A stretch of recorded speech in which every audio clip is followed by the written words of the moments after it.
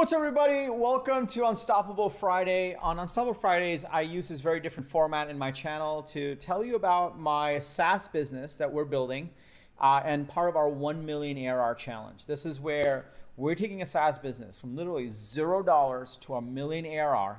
That's our challenge. We're going to do it as quickly as possible. We're going to do it based on all the principles that I teach inside of my SaaS school program.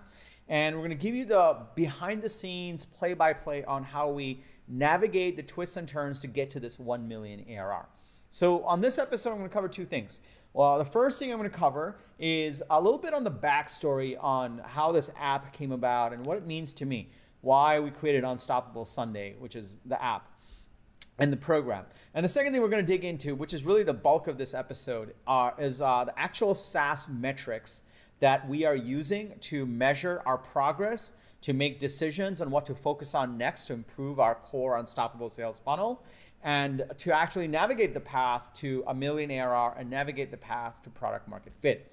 So if you're excited to dig in, go ahead and smash that like button. If you're new to this channel, welcome. Be sure to hit the subscribe button and that bell icon so that you get notified every single time I bring you a new episode. In case you haven't figured it out by now, I bring a new episode three times a week to help SaaS founders navigate the path to the next stage of growth and product market fit. So that's what we're all about here. So welcome. If you're already part of the community, welcome back. It's really great to see you here. So first, let me give you a little bit of background around why uh, and how I came to this.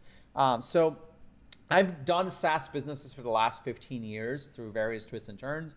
I've had multiple exits. I've helped companies exit. In fact, um, I started and sold two SaaS businesses, and the two businesses that sold that bought my two SaaS businesses, the ones I created, uh, I was part of the the process to help sell them as well. So it's been an incredible ride, and I I knew that for this next stage of my journey, uh, part of what I wanted to do was give back. And that's really how this came to be.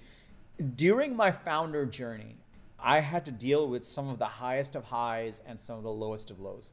And what I realized the hard way was that I really needed to figure out how to keep my mindset in check. What I realized was 50% of this SaaS game, of this startup game, and it's really hard and there's a lot of things you got to figure out. 50% of it is really figuring out how to navigate your mindset. And so I picked up a set of skills, a set of tools that no one really handed to me as a founder. I wish someone did, but no one did. No one said like, "Hey, you're a startup founder now. Hey, you just raised 15 million dollars of funding. Here's how to manage your mindset for that." No one did that. And so I had to learn it the hard way. And luckily, I was a student of personal development. I've been a big fan of Tony Robbins, Jim Rohn, Steve Pavlina.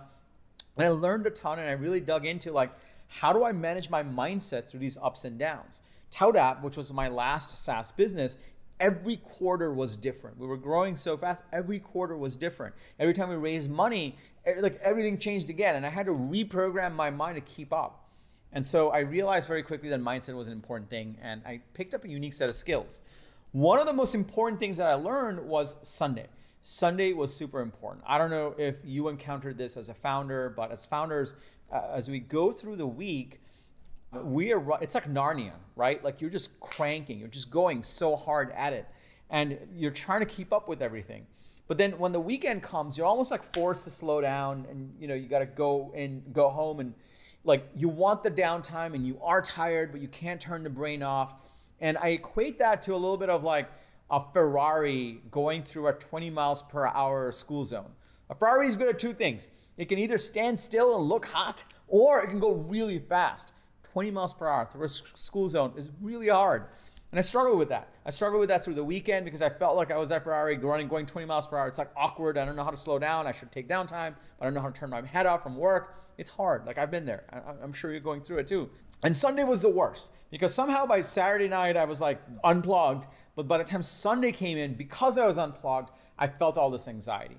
And turns out that's called the Sunday scaries, the Sunday jitters, the Sunday, what am I even doing with my life? The, is this gonna work? Are we all gonna die? And it's only 10 a.m. Like, it's crazy. And so what I learned was that Sunday scaries is a real thing. And it doesn't happen because you're any lesser. It happens because of that transition into the work week. And so about 10 years ago, maybe like eight years ago, I started doing this thing. Every Sunday I would sit down, I would work on my mindset. It was just 30 minutes.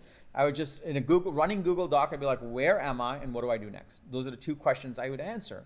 And through that practice that I've developed, I practiced gratitude. I paused and reflected. I figured out what was working, what was not, and I really set an intention for what I wanted in the coming week. And I did that consistently and consistently and consistently. And that really shifted my mindset as a founder. That allowed me to go into any situation. There were weeks in my SaaS business where we almost died and I had to do layoffs. And I was able to manage that and go into that week because of Unstoppable Sunday, because I would just be able to sit down and just process everything. And it somehow made me feel better. There were weeks where it was incredible. We had just sold a company and we were going into this new chapter. And even then, I practiced Unstoppable before I got in front of a crowd of 5,000 people and announced the acquisition of the company. So through those twists and turns, I kept doing this one practice. And once we sold ToutApp, and then I helped uh, uh, to Marketo, and then I helped sell Marketo to Adobe, then I kind of took a little bit of downtime. I'm like, okay, what do I do next? And one of the things I wanted to do was give back.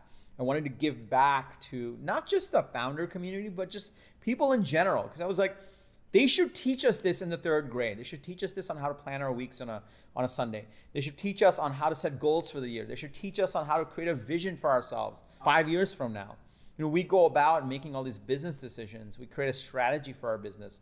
We don't create a strategy for our life. And so I know this is going on for a little bit, but hopefully the backstory is helpful. What I ended up doing was I ended up create, writing a book. Uh, it's How to Punch the Sunday Jitters in the Face. This is the book. You can get it out from Amazon.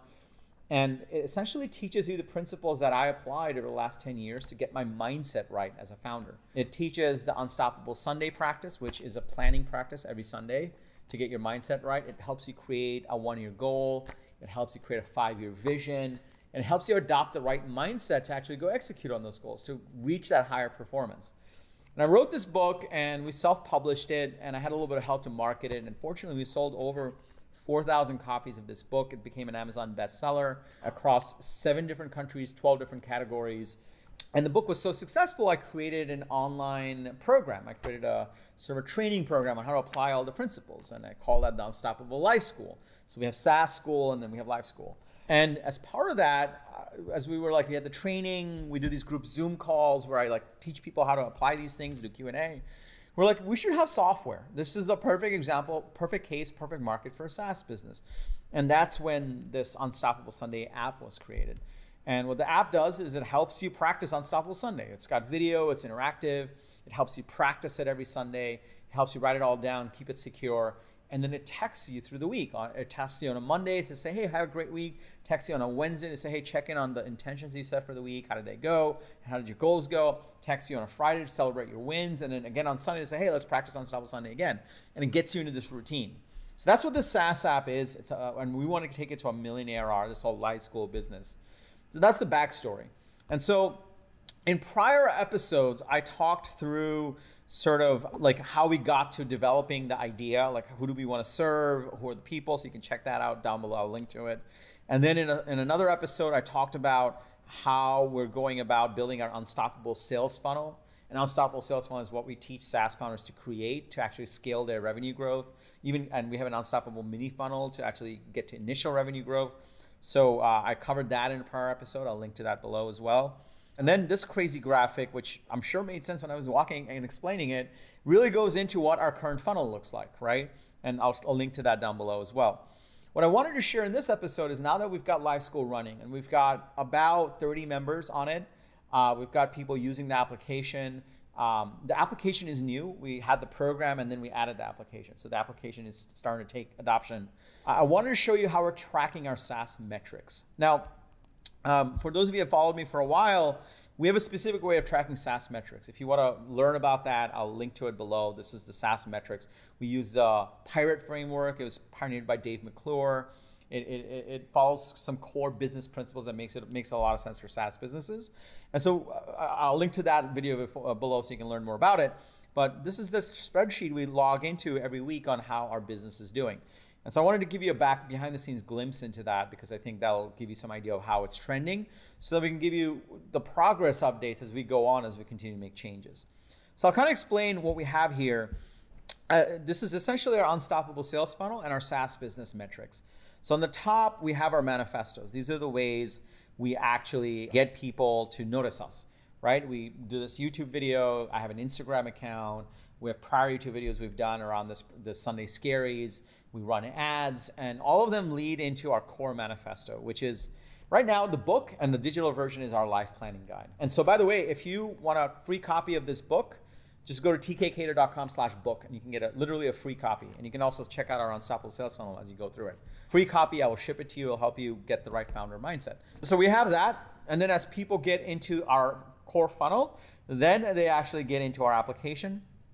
Either they're trialing the application. We have a free, uh, we have a uh, trial that's like I think a 14 day trial that Steven and I put in, and then we upsell them either to a monthly plan or the full program. The monthly plan is just the application, and then the full program is the application plus the training plus a copy of the book. So we're, we're treating this as a SaaS and an info business, and that's how we're scaling it. But it's a real solution to help you get the mindset right. Everything you need the training, the app, the, so- the software, and the support, everything. You get everything.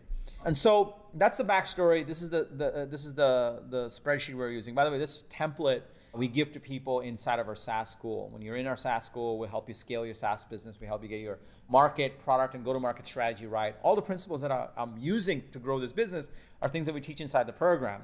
So uh, this template is something we teach inside the program. This is the template we're using. If you want to adopt it, join SaaS School. You can also watch that SaaS metrics video to understand the principles behind it. But I wanted to give you an idea of like how things are trending. So overall, we make revenues in two ways, three ways. Uh, the first is through the book. Now, when we sell a book, it is free. We ship it to you, but we charge shipping and handling, and we make a tiny amount of profit on that. And that pays for running ads and our lead acquisition cost. Then we upsell you uh, either through a webinar or a video into what we call our life school. Life school gives you our software, gives you our training, gives you access to a group Zoom call, all of it holistically. And we're just now, like, it's been a little weird with COVID and my attention was turned away. But you will see, like, the free books are starting to scale up. The upsell to the live program, we just had to reboot. So we'll hopefully start to see that scale up. Uh, and then once people are in the program or they're trialing the application, the third way they can try it is they can trial the application. Uh, if you want to trial the application, uh, go to just go to unstoppablesunday.com. And then from there, we track how many people are, and this is our core SaaS metrics, how many people are we acquiring, how many people are activating. Activating means they actually practice Sunday, they, they actually follow the steps, and how many people are coming back. What's our retention? And then what's their conversion to revenue? What you'll notice is our big money maker is likely not going to be the thing where people just sign up for the app and then start converting. It may be, but we don't think it'll be. Our big money maker is going to be where people download our manifesto, come to our training, and sign up for a full year of the program. And the program is like a mindset program. We probably like 80% of the people in the program are founders other 20% are high achievers and they're like i want to get my life plan right i want to get my life strategy right i want to adopt an unstoppable mindset i want to go execute. And that those are the people uh, and you can learn more about that in the book. And so this is kind of the beginning pieces. Like we've really started to put in a lot of effort into this starting last week really to really market this and take it to a million arr so it's been relatively flat from before. Oh, steven's looking at it right now. And so what, what we're looking to do is starting to actually put in some more ad dollars that will get more people to discover our movement and our manifesto, which will then come to our training and then we'll actually come into the live program and start using the application. So it's our hope you'll see that our activation is starting to go up. We have more and more people practicing Sunday, and we're migrating people from an old version of the app to the new app. So this number will go up even more. Probably get to about the thir- full 30 that we have on the program, and then we'll scale it from there. And what this allows us to do is every week we track these metrics. I have time set aside every Monday to look at all the pieces of data and manually put it all into this one ledger. I do that not automatically, but manually because it forces me to really dig into like, okay, what are the core pieces, what's working and what's not. Then we essentially become a diagnostician. It's very rare that you launch a SaaS business and it all just takes up right from the beginning. That's why it's super important just get it out there. Once you get it out there, then you can collect a bunch of data. We collected a bunch of data over the last few weeks and then we made some changes last week. We made some changes last week and you can start to see the retention metrics are already, the activation metrics are already going up. And so now what we're able to say is like, okay, cool. So uh, we need to obviously optimize on more people signing up. We, we had this sales presentation that was very COVID specific. Now we're switching it to something that's a lot more like non-COVID specific because we're in this weird post-COVID era, and so we know that will start to come back up. That's how we got the 30 people. And then the other thing we need to do is continue to improve our activation. Like, right, we want more people to be activating uh, out of the people that are signing up.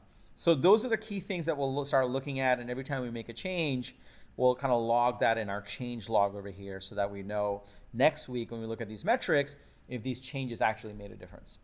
So those are the core SaaS metrics that we're looking at. We look at acquisition, activation, retention, revenue. That, that's what we're looking at. We're not looking at referral right now. Those are the four we look at. And we're actually applying an unstoppable sales funnel to get in leads, to discover the program, and to, and to buy, the, buy the software and the training program. So that's what I wanted to give you. I'm super excited about it. If you enjoyed this video and you enjoy this type of format, please smash that like button. If you're new, hit the subscribe button and that bell icon. Um, if you got value from this, uh, please share it with a friend if you have a fellow SaaS founder that wants to see these behind the scenes videos. If you enjoyed this, uh, comment below. Let me know what you thought about this new format we're trying, this behind the scenes. If there are other aspects of the SaaS business behind the scenes you want me to take you, put that in the comments below so we'll queue that up in a future episode.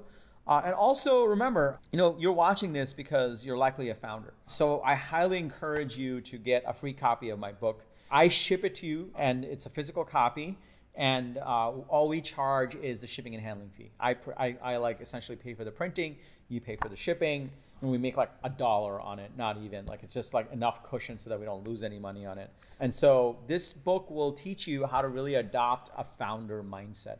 It's everything that I learned from being a founder over the last 10 years of scaling SaaS businesses, both, both venture cap, venture backed, also being a senior executive. So this is essentially like it truly is for founders and to get your founder mindset right. It's super important. So go ahead and grab a free copy of my book.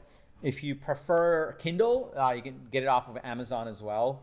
That's also an option. If you want to pay the full price, the $24, you can get the physical copy off of Amazon as well. And then also, uh, if, if, there's like, get the book. What the book will teach you is the importance of Unstoppable Sunday. If you want to practice Unstoppable Sunday, go to unstoppablesunday.com and sign up for the application, and I'll guide you through practicing that. That's all I have for you today. Hopefully, you got value from this. If you did, don't forget to smash that like button. I bring you an episode three times a week on scaling and building and starting and exiting SaaS businesses. So be sure to hit the subscribe button and that bell icon. Again, it's really awesome to see you. Thank you so much. I love you guys, and I'll see you in the next episode.